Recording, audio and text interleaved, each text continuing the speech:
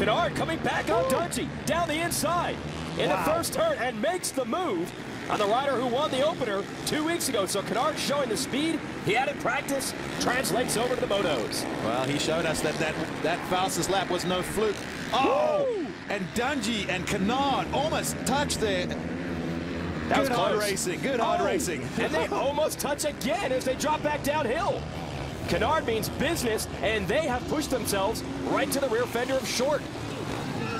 You would think they just got the two lap car the way these guys are going, but hey, you got to make it when you can because sitting behind a guy, it's okay if he's a leader and you're in second, but if you Ryan Dungey and Trey Canard, they're knowing they can see James Stewart disappearing in the distance, so you get that sense of urgency because once James Stewart's gone, he's a hard man to catch. Yeah, and it's really hard to gauge what you're going to get from Stewart. Obviously, not the Stewart we expected the first couple of motos, but any day could stumble on the right combination and could get away, and that's what he's doing right now. So I don't think they're taking that lightly.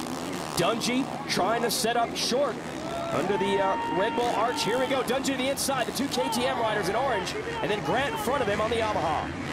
Dungey follows him there, but swings out to the outside. Can he? He's going to go the long way around. Is it going to work out? Wow!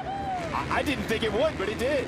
So Well, you- Dungey's up to third. You're not going to pass following someone, and that was a tough spot to make a pass, but maybe Andrew Short giving him just a little bit of breathing room. I'll take that back because Andrew Short Yeah. goes right back by Ryan Dungey.